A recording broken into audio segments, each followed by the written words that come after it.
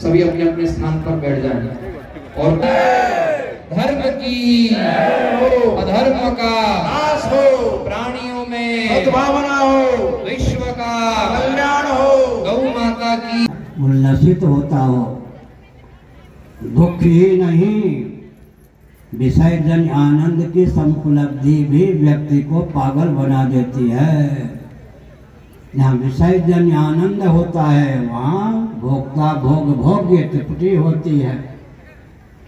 आधार लक्षणा के द्वारा हम सिद्ध कर सकते हैं कि जहाँ तृप्ति होती है, वहाँ द्वैत होता है। दो या दो से अधिक का नाम है, सज्जनों द्वैत। जहाँ द्वैत होता है, वह श्रम होता है, अनुभव सिद्ध तथ्य है।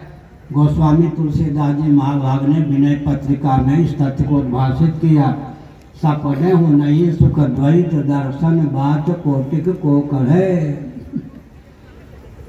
जहाँ तृप्ति होती है, वहाँ द्वैत होता है, जहाँ द्वैत होता है, वहाँ श्रम होता है। जहाँ श्रम होता है, वहाँ निरतिशय आनंद नहीं होता। इसलिए गाढ़ी नींद की विशेषता क्या है? सर्दी, गर्मी, भूख, प्यास, किसी भी द्वंद्व की वहाँ पहुँच नहीं होती। कल किसी ने पूछा था सड रिपु, भूख, प्यास काम क्रोध लोभ मोह आदि किसी भी रिपु की मनोविकार की वहाँ पहुँच नहीं होती गाढ़ी नींद में। मनोविकार से अतीत होकर काम क्रोध लोभ मोह से अतिक्रांत होकर हम गाढ़ी नींद में पाँच सात घंटे तक रहते हैं। इसका अर्थ क्या हुआ? गाढ़ी नींद में दैहिक, दैविक, भौतिक, तीव्र ताप में किसी तत्वज्ञ मनीषी होते हैं। उनका जो अंतकरण होता है या चित्त होता है भर्जित बीज के समान होता है। तत्वज्ञ मनुष्यों का स्वभाव क्या है? अभ्यष्टा सर्वभूता नाम मैत्र। हम्म, विचित्र बात। ध्यान पूर्वक आप सुन ही रहे हैं। स्वरूपगत साम्य है भगवान में और जीव में। स्वभावगत और प्रभावगत साम्य भी हो जाए तो सोने में सुगंध की बात हो।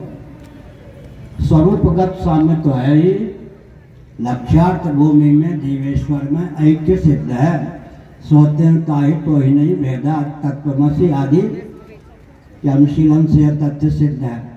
स्वभावगत अभेद होना चाहिए। अदृष्टा सर्वभूता नाम मैत्र करुण एवं। भगवद गीता के बारहवें अध्याय में और चौदहवें अध्याय में गुणातीत के लक्षण हैं प्रकाशम च प्रवृत्ति च मोहमेव च पांडव न द्वेष्ट संप्रवृत्ता न निवृत्ता कांक्षते शांति हम जल शांति हम वायु शांति हम सा शांति माँ से समग्र समाज शांति